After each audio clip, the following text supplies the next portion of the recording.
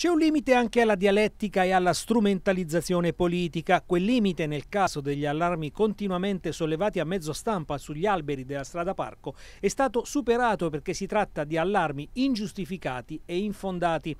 È secca la replica del vice sindaco e assessore ai parchi e verde pubblico del comune di Pescara Gianni Santilli che ha eseguito un sopralluogo assieme al responsabile comunale, l'agronomo Mario Caudullo, precisando pubblicamente che le 78 piante che secondo alcuni sarebbero state a rischio sono in perfetto ordine e in piena salute. La cementificazione che dicono queste associazioni è solo un pretesto praticamente non ci sarà cementificazione, sarà soltanto fatto il marciapiede dal lato mare, dove dobbiamo dare la possibilità alle carrozzine dei disabili di avere un percorso dedicato, niente di più.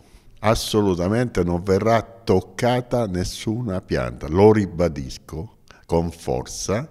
L'altro giorno sono stato con l'agronomo, il dottor Caudulla, a fare un sopralluogo proprio sul posto perché avevamo avuto dei segnali da parte di qualcuno che non fossero belli. Non ero contento di questo e siamo andati col dottor Caudullo che mi ha rassicurato in pieno sui lavori che si stanno facendo.